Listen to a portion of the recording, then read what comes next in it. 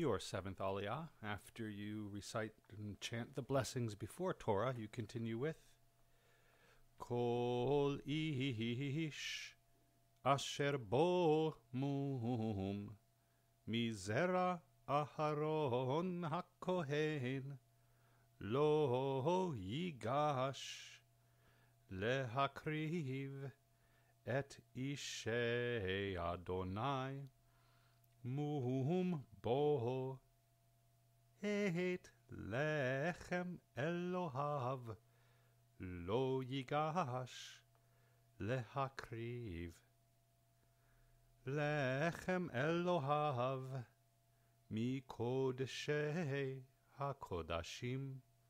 umin hakodashim yochel ach אל הפרוכת לא יבוא, ואל המזבח לא ייגש קימום בו, ולא יחלל את מקדשי, כי אני אדוני מקדשם. וידבר משה